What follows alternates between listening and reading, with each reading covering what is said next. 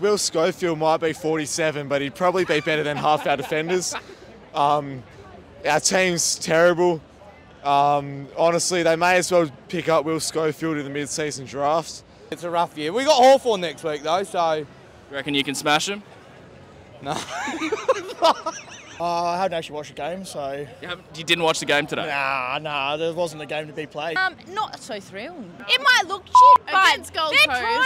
It you looks know? like we're watching a waffle game. Mate, no better feeling than beating the Eagles. Second best coast. Flag coast. What, what's what do you call it?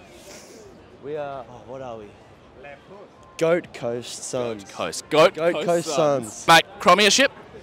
Yeah, for sure. Premiership. Yeah, for sure. Were you here supporting the Eagles or Gold Coast? I was here just to airdrop my podcast to people. Matt Rowell. the goat. He eats grass. What He- doesn't he do? Do you reckon he got a good munch before the game?